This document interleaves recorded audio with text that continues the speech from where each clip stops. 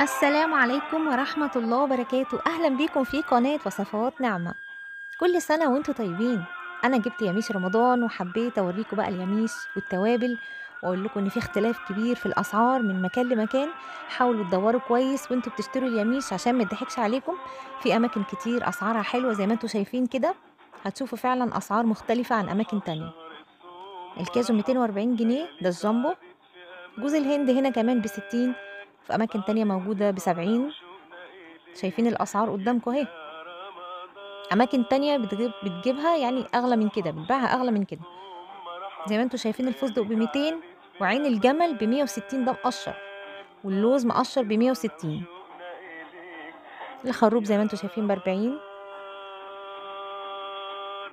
قمر الدين في أماكن بعشرة وفي أماكن بخمسة وتلاتين وفي أماكن بعشرين بصي بقى أسعار هتلاقيها مختلفة من مكان لمكان. حاولوا آه، تدوروا كويس. لو حبيتوا تشتروا يميش رمضان حتى البلح نفسه هتلاقوه مختلف آه، في أماكن كتير في الأسعار. وكمان التوابل. يعني طبعا إحنا بنحتاج توابل بقى وحاجات كتير في رمضان. على قد إمكانياتك هاتي. مش شرط تجيبي الكمية يعني كبيرة. لأ هاتي إمكانياتك بس. وكمان مش شرط إن انت تجيبي كل حاجة ممكن تجيبي شويات صغيرة آه على حسب برضو آه إمكانياتك وإمكانية جوزك. وأنا جايبة نوعين بلح هقول لكم أنا بعمل بيهم إيه. البلح الناشف طبعا زي كل الناس كده أنا ببله والبلح الطري ده أنا بغسله مش كله طبعا على قد ما أنا بستعمل. وهقول لكم النهارده على وصفة حلوة جدا علشان تقدمي بيها البلح مفيدة وصحية جدا للأطفال علشان اللي طبعا آه، صايم منهم وياكل بلح يديله طاقة كده ويساعده كمان على إنه هو يصوم تاني يوم ويكمل شهر رمضان من غير ما يحصل له أي حاجة خالص. بصوا بقى أنا كمان جبت التوابل علشان نحضر مع بعض بقى إيه الخلطات والتوابل بتاعة الكفتة والحاجات اللي إحنا هنعملها إن شاء الله بإذن الله مع بعض. أنا بحبيت أفرحكم وحبيت أفرح معاكم آه بإن أنا أوريكم حاجتي كده.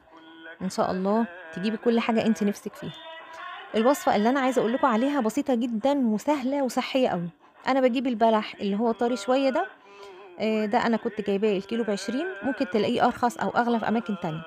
وبغسله كويس وبعد كده بصفيه. المفروض إن هو إيه طبعا بيبقى في علبة ولا حاجة برضو بتغسليه علشان التراب وما تضمنيش. بعد ما بغسله وانشفه كويس بروح بقى حاشياه الحشو اللي أنت عايزاه. يعني مثلا عين جمل على حسب إمكانياتك أو سوداني. أنا كل سنة كنت بحشيه سوداني كان بيبقى طعمه حلو قوي.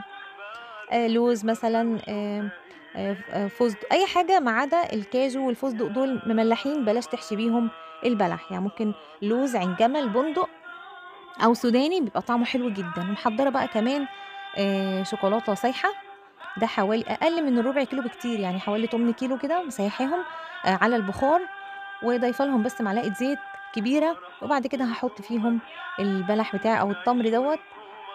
ده مش بيبقى طري قوي ولا ناشف قوي يعني إيه وسط كده. وتحطيه بقى في الشوكولاتة آه، السايحة دي وتطلعيه على كيس بلاستيك كده يجمد شوية. يا إما تحطيه في التلاجة طبعا لو إحنا في الصيف. بيتقدم بقى كده طعمه حلو جدا الأولاد عندك هيحبوه قوي أنا بعمله لولادي طول السنة. طبعا أنتوا عارفين فوائد التمر قد إيه كتيرة و... وحلوة جدا خصوصا كمان في شهر رمضان لأن كتير جدا من الأولاد ما بيحبوش إن هم ياكلوا. البلح التاني الناشف دوت آه، لو إحنا بليناه أو حطينا حتى على المية بتاعته أي حاجة برضو كتير منهم مش بيحبوه.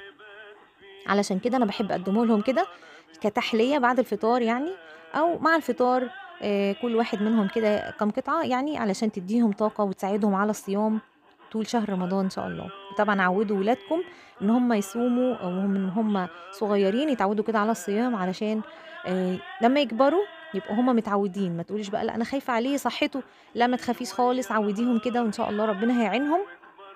رمضان جاي آه، الجو حلو كمان فده هيساعدك قوي إن انت تعودي ولادك على الصيام إن شاء الله بإذن الله.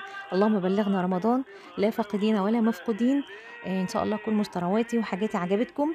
وايه رأيكم في شكله جميل جدا. يا رب يكون عجبكم. ما تنسوش اللايك لو عجبكم الفيديو. آه، ومع السلامة.